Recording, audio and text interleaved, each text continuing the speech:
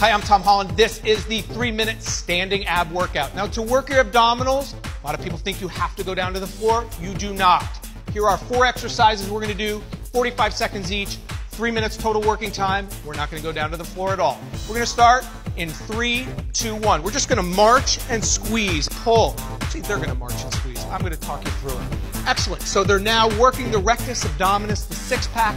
They're standing. And what you want to do is really squeeze each repetition standing up, you'll feel it drive that knee up as you drive the elbows down. All right?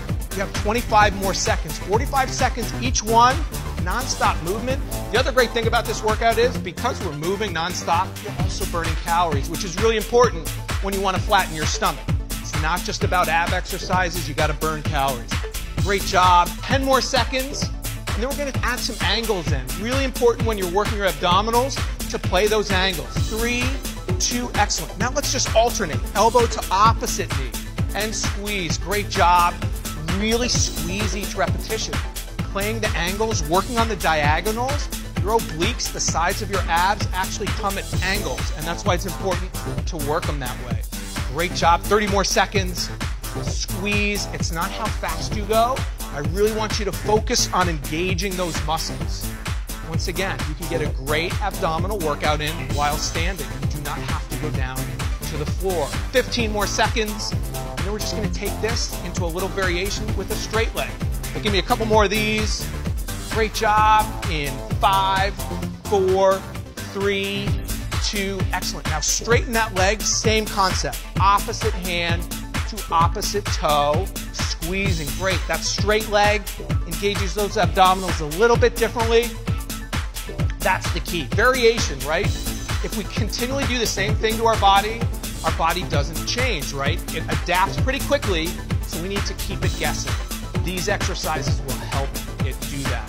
All right, we're coming up on 20 more seconds. 20 more seconds. Great job. Squeeze. Make each one count.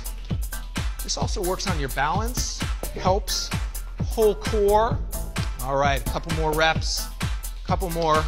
Great job in five, four, three, two. Let's finish up final 45. I want you to rotate and punch, rotate and begin. So jabs, you'll see as they rotate Elsa and Katie on their toes, they're squeezing, boxers, punching. Great exercise.